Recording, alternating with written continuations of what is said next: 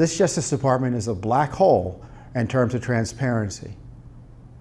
The Peter Strzok page text messages, gamesmanship with both Judicial Watch and Congress, FISA court records, gamesmanship, secrecy on that. The Spygate records. They haven't turned over one Spygate record to Congress. We've asked for these records under FOIA. We haven't sued for them yet. It's too early.